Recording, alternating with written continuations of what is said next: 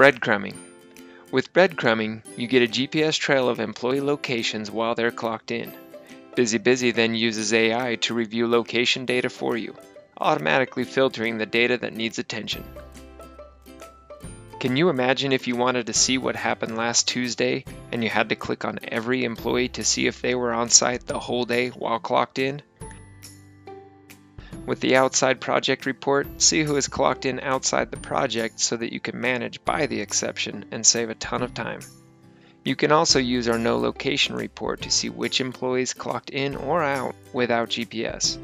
These two reports are just a few of the ways we bring GPS data to you so that you don't have to go looking for it.